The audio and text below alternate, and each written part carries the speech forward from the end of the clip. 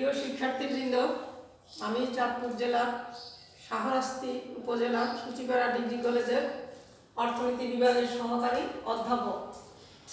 আজকে তোমাদেরকে অর্থনীতি দ্বিতীয় পত্রের দ্বিতীয় অধ্যায়ের কৃষি সম্পর্কে কিছু আলোচনা করব।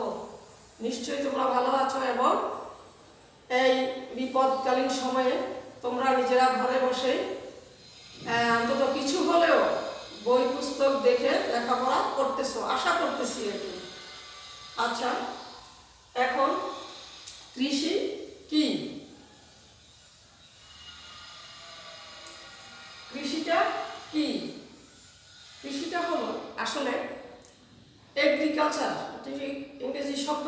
এগ্রিকালচার যা এগ্রি শব্দের অর্থ হইল জমি আর কালচারাল শব্দের অর্থ হইল ফসল বা চাষ অর্থাৎ জমি চাষ করে ফসল ফলানোটাকেই সাধারণভাবে কৃষি বলা হয় কৃষি এমন একটা কৃষক বা কৃষি কৃষির সাথে যারা জড়িত প্রকৃত অর্থে তারাই কৃষক যে কৃষি জমি চাষ থেকে শুরু করে ভূমিকর্ষণ ভূমির পরিচর্যা বীজ বপন সংরক্ষণ এবং বাজারজাতকরণ পর্যন্ত যে কাজটা সেটাই আসলে কৃষি কৃষি পৃথিবীর সবচেয়ে প্রাচীন এবং বৃহত্তম পেশা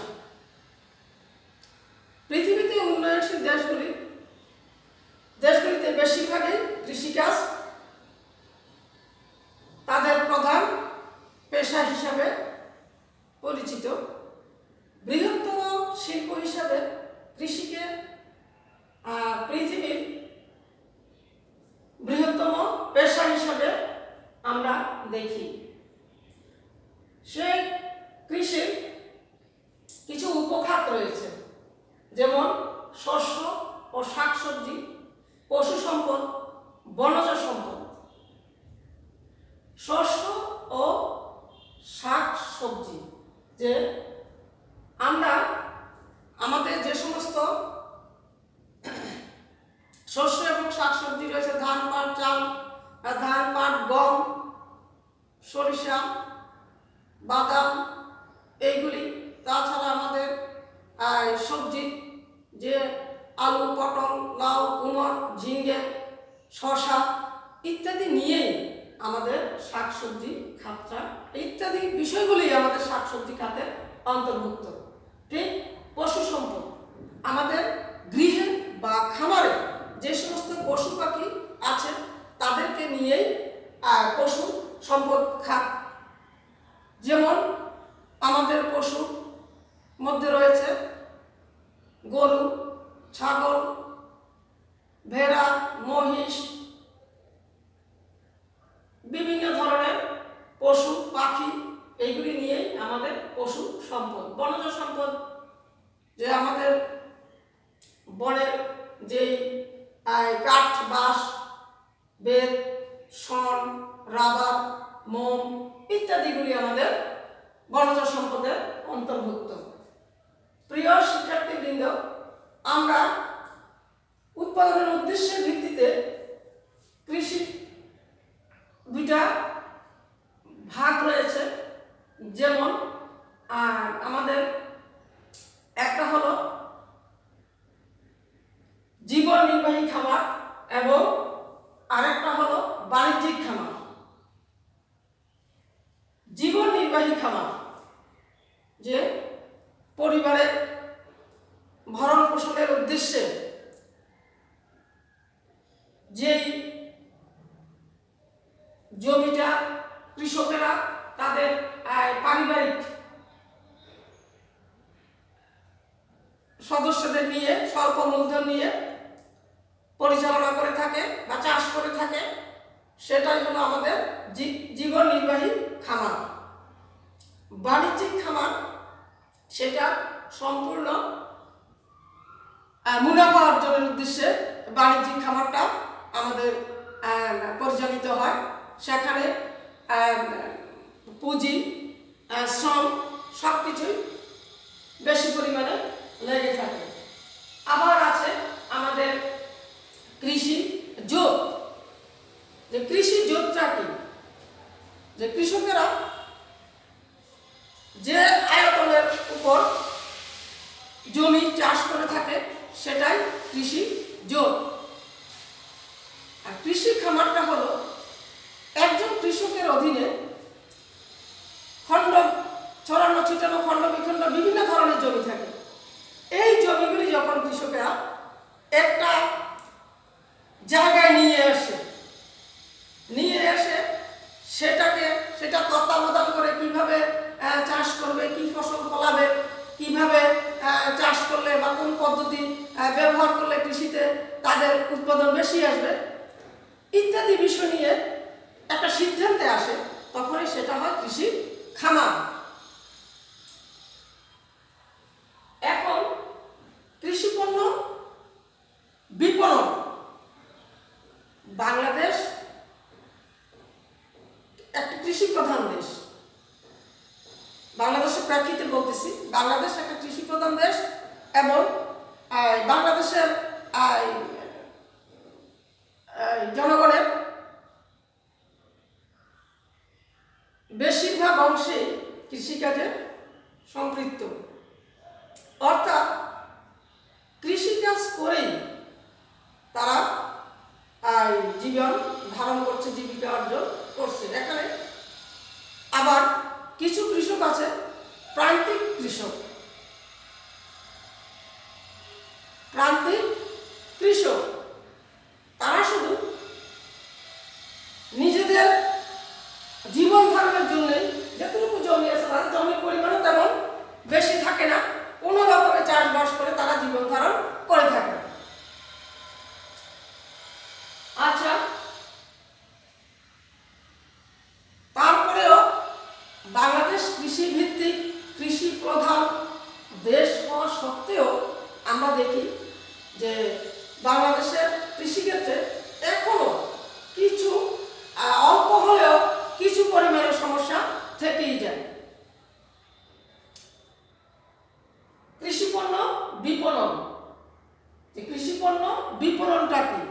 কৃষিপণ্য বিপণনটা হলো যে কৃষকরা তাদের উৎপাদিত ফসল ফসল ভোক্তাদের কাছে পৌঁছানোর যে প্রক্রিয়াটা অর্থাৎ যেই প্রক্রিয়ার মধ্য দিয়ে কৃষকেরা তাদের উৎপাদিত ফসল ভোক্তার কাছে পৌঁছায় সেটাকে বলা হয় কৃষিপণ্য বিপণন কৃষিপণ্য বিপণনের কিছু সমস্যা রয়েছে যেমন নিম্নমানের পণ্য নিম্নমানের পণ্য কৃষকরা দরিদ্র বিধায়, বাংলাদেশের কৃষকরা দরিদ্র, বিধায় তারা ভালো বীজ, কীটনাশক ঔষধ, এইগুলি মানে প্রয়োজন মতো বা পর্যাপ্ত পরিমাণে কৃষিতে যোগান দিতে পারে না। এই কারণে পণ্যের মান তেমন একটা ভালো আসে না। নিম্নমানের পণ্যের কারণে কৃষকেরা তাদের ফসলের ন্যায্য মূল্য থেকে বঞ্চিত হয়। শ্রেণি বিভাগ নমুনাকরণ।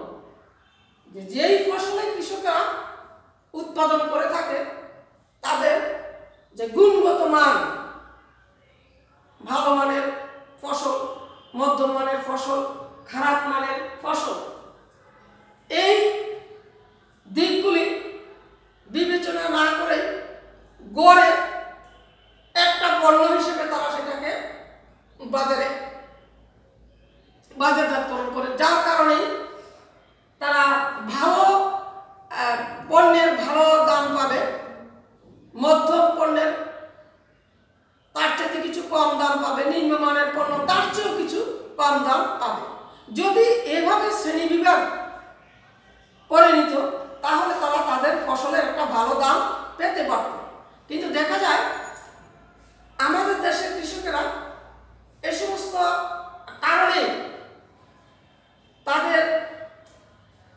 মাথার ঘাম ফায়ে ফেলে যেই ফসল জমিতে উৎপাদন করে থাকে তার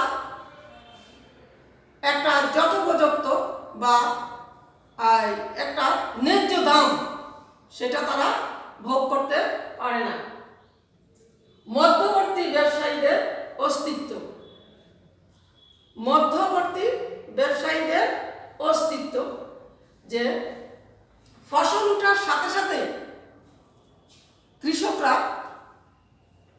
তাদের জমি চাষ করতে বা ফসল ফলাতে যেই উৎপাদন খরচটা তারা করে আসছে, দেখা যায় সেই উৎপাদন খরচ পরিশোধ করার জন্যই অনেক সময় তারা ফসল ওঠার সাথে সাথে এগুলি বিক্রি করে দিতে বাধ্য হয়, যার কারণে তারা ভালো দাম থেকে বঞ্চিত হয়। তারপরে আরও একটা কথা আছে, মধ্যবর্তী একটা ব্যবসায়ী শ্রেণি আছে, যাদের দৌরাত্বের বা অস্তিত্বের কারণে কৃষকরা ন্যায্য দাম পাচ্ছে না বা তারা ন্যায্য দাম থেকে বঞ্চিত হচ্ছে, কারণ এই মধ্যবর্তী শ্রেণীটা ফসল ওঠার সাথে সাথে কৃষকদের কাছে যায় এবং তাদেরকে নানাভাবে বুঝিয়ে অল্প দামে কৃষকদের কাছ থেকে ফসলগুলি কিনে নেয়। কিন্তু ভোক্তারা কিন্তু অল্প দামে সেই উৎপন্ন দ্রব্য কিনতে পারতেছে না। তাহলে এখানে স্পষ্টই বোঝা যায় যে এখানে উৎপাদক শ্রেণি এবং ক্রেতা বা ভোক্তা শ্রেণি কিন্তু ক্ষতিগ্রস্ত হচ্ছে। মধ্য কার কারণে মধ্যবর্তী ব্যবসায়ীদের অস্তিত্বের কারণে। অনুন্নত পরিবহন ব্যবস্থা।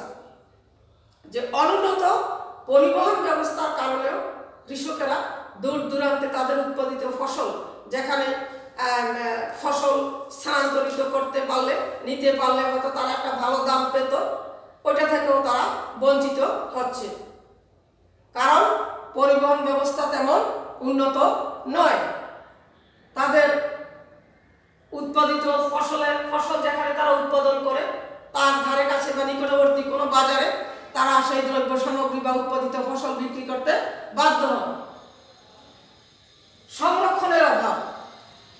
এখানে সংরক্ষণের জন্য পর্যাপ্ত পরিমাণে গুদাম জাতের বা হিমাগারের প্রয়োজন আছে। কিন্তু সেইগুলিতেও তারা তাদের দ্রব্য সামগ্রী সংরক্ষণ করতে পারে না। কারণ একদিকে মধ্যবর্তী ব্যবসায়ীদের অস্তিত্ব, আরেকদিকে তাদের দারিদ্রতা। দুটা কারণেই তারা সেটা পারে না। উন্নত পরিবহন ব্যবস্থা তার জন্য দায়ী আছে। যে সমস্ত কারণগুলিতেই তারা তাদের উৎপাদিত ফসল সংরক্ষণ করতে পারে না। ফসল ওঠার সময় ফসলের দাম, উৎপাদিত ফসলের দাম কম থাকে, কিন্তু পরবর্তীতে সেই ফসলের দাম অনেক বেড়ে যায়। কিন্তু তারা এই সমস্যার কারণে সংরক্ষণের অভাবে তাদের উৎপাদিত ফসল ফসল ওঠার সাথে সাথে তারা সেটা আয় বিক্রি করে ফেলে, যার কারণে ন্যায্য দাম পাচ্ছে না। দামের ব্যাপক উত্থান পতন। যে দাম সবসময় একরকম থাকে না, দাম অনেক সময় দেখা যায় যে উৎপাদিত ফসলের দাম কম থাকে, আবার অনেক সময় দেখা যায় যে উৎপাদিত ফসলের দাম বেশি হয়ে যায় তারও কারণ আমি বলব যে মধ্যবর্তী ব্যবসায়ীদের অস্তিত্ব অনুন্নত পরিবহন ব্যবস্থা সংরক্ষণের অভাব এগুলি সব কিছু কারণে মিলিয়েই তারা তাদের উৎপাদিত ফসল যথাসময়ে তারা বিক্রি করতে পারে না যার কারণে তারা উৎপাদিত ফসলের ন্যায্য মূল্য পাচ্ছে না এই দিকে চিন্তা করলে আসলে রা- আসলে কৃষক যারা যারা কৃষি কাজ করে ফসল ফলায়, তারা বিভিন্ন কারণেই তাদের সেই কষ্টার্জিত ফসলের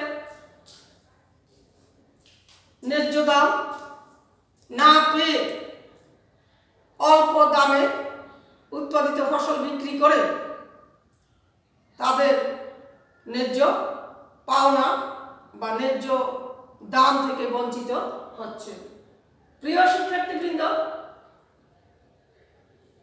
তোমরা ক্লাসগুলি দেখবে এবং বই দেখে এইগুলি মিলিয়ে সুন্দর করে পড়ে নেবে।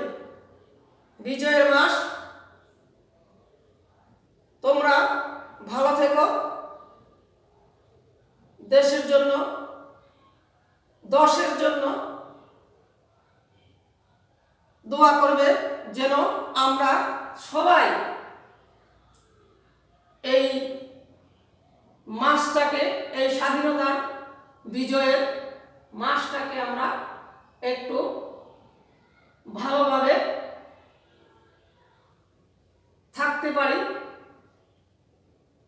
এই বলে আমি আমার ক্লাস এখানে শেষ করলাম। ধন্যবাদ। ভালো থেকো।